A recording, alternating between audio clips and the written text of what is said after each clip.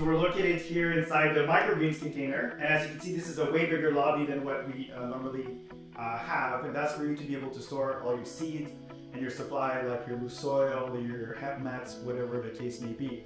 Uh, but as usual, you have the overhead storage, 34 inch sink with hot water, so you're GAP compliant, stainless steel uh, counter that also doubles as a fertigation tank with your uh, irrigation, fertigation water control here. And then you have, you'll be able to mix in your nutrients for hand watering. Speaking of hand watering, this is the uh, hose that comes with the container, and it's also a reel hose so that you could kind of just put it right back when you're finished at the end of the day for your hand watering. Full environmental control, uh, temperature, humidity, CO2, light, all managed through that. But control panel here that also manages the security inside the container. So you have Wi-Fi, camera, that's all connected to a GSM connection if, if you'd like to, and also the door strike access so you can give access to your employees during certain times to be able to work inside the farm. Now let's move inside the actual grow farm. As usual, this is a 28 inch door, sliding pocket door to make the best out of this space.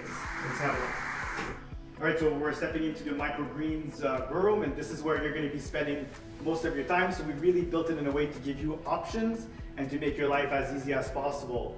So you have those base trays here that fits two 10 by 20 plants. This allows you to be able to expand in terms of different cultivars for the same tray, uh, hemp mats or loose soil, uh, whatever the case may be, it definitely can handle it.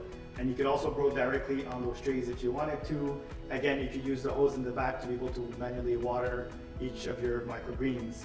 Next, you got your LED lights here that have reflectors on it, so that brings up the efficiency of the overall unit combined with our integrated environmental control system that we have in every single container, combined with those sensors, we have two of them. It allows you to be able to have really a proper airflow and not have any sort of uh, pockets inside uh, the container with you know, humidity, things like that. And this really allows you to have between 190 trays to 240 trays if we add a fifth level here to really be able to expand your business without having to set up an actual building.